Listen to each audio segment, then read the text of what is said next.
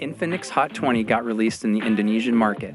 The phone is priced around 200 US dollars, and in this price point, this phone has some amazing specs. In this video, we will discuss all the features of this phone.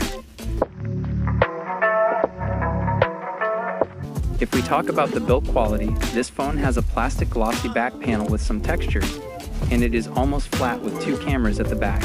At the bottom left corner, we can see Infinix branding. The thickness of the phone is 8.9 millimeters. It weighs 204 grams. On the bottom side of the phone, we have speaker, Type-C charging port, and a headphone jack. On the left, we have two SIM slot and also a memory card slot. On the right, we have side-mounted fingerprint sensor with volume rockers. The fingerprint sensor is pretty decent fast at this price point. There will be three color variants of this phone, Racing Black, Blaster Green, and Space Blue. If we look at the display of the phone, it is a 6.6 inches IPS display panel. It is a full HD plus 2K display with 400pp pixel density. The best thing about the display is it's a 120Hz refresh rate display. Out of the box, the phone will be running Android 12 with XOS 10.6.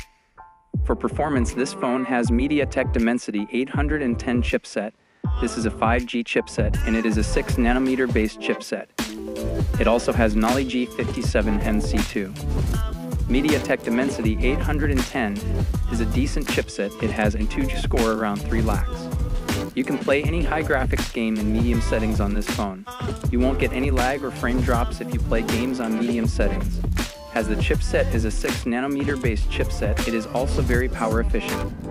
In the global market, the phone is available in two variants 4 GB RAM with 64 GB ROM and 4 GB RAM with 128 GB ROM, UFS 2.2 with LPDDR4X. Talking about the camera, the main camera is a 50 megapixel sensor and a secondary AI sensor. For selfie, we have an 8 megapixel camera. You can only shoot at 1080p resolution with this phone. For battery, this phone has a 5000 mAh battery with 18 watts fast charger.